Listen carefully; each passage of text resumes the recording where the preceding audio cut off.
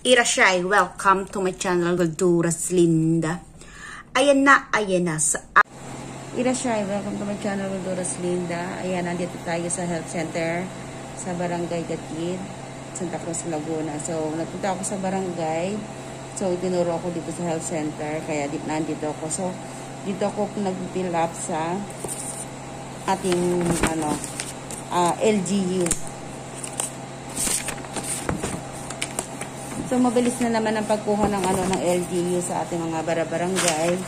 Ito lang yung papel. So, ipinapasarap lang ng kapatid ko yung uh, papel ng ano, swab test ko, ne? Ayan.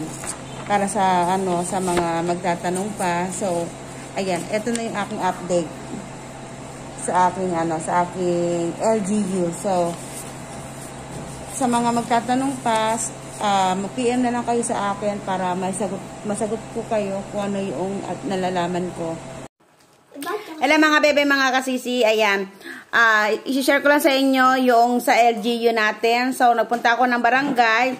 Ipina, itinransfer nila ako sa health center para doon ako kumuha ng certificate of quarantine. So, March 14 ako, uh, March 4 ako babalik. So, ang bilang ng ano, ng 14 days ay simula nang tayo nag ano, nag-quarantine sa Manila Hotel. So, hanggang sa ano, sa uh, pagdating natin dito sa ano, sa probinsya natin, kasama na yung sa bilang sa 14 days quarantine. So, sa 4 ang aking ano, 14 days kaya a 4 babalik ako ng barangay para kuhanin ko yung quarantine of certificate ko mga kalinda. So sa barangay naman ang kinuha lang nila sa akin ay passport uh, passport pinakapi yon at saka yung arrive ko nung kailan ako dumating ng Pilipinas, yun ang hiningi sa akin. So, mabilis naman, wala nang, ano, wala nang kasi problema. Ayan. Bye-bye!